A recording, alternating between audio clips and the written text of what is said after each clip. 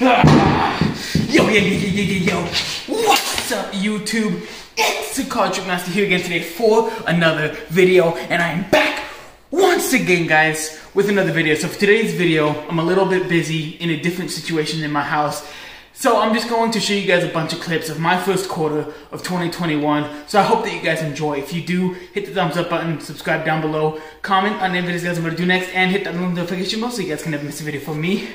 Also, please don't forget to follow me on all my social media links, which will be in the description box down below, so you guys can go check me out, say what's up, give me more video ideas.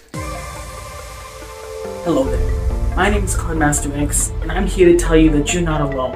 I too suffer with PCSS, playing card sniffing. 20 cards, just like this, so you'll have a packet kind of in between your ring finger. You're going to do a Charlier at the same time, simultaneously. So it should look like this. So you have an unfinished Charlier, and then you have the rest of the deck, probably about a couple rows before hose, am I right? So let's just uh, put the middle layer. So you don't have to worry about doing that one pattern you had before. You have a whole new different pattern. I know, I know patterns fucking suck.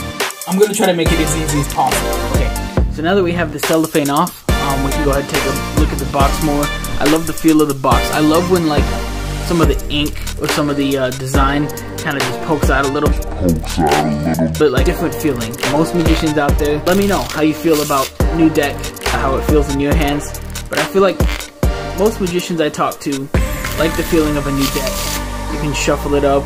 You can uh, you can fan really well. You just got to be careful because they're kind of slick. Like you see, they're falling out everywhere. Welcome to the all-time Sunday triple header. For today's triple header, we have three decks that we are unboxing. So let's get right into it. I don't want to waste any time. This is the best time of Cardmaster X history. So you guys aren't bored and leaving my videos like you would leave Card Trick 8 videos, am I right?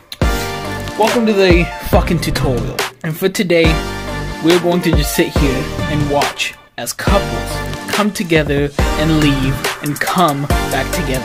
We're gonna take the two middle cards, place them back down, and you're going to do the exact same thing. You're just gonna grab it by putting the ace on top of the couples, putting the couples into the middle, and doing the Elmsley count, just like this. And uh, yeah, that's, that's all that's gonna be for today's video, and I'll see you guys on Saturday. Keep mastering life.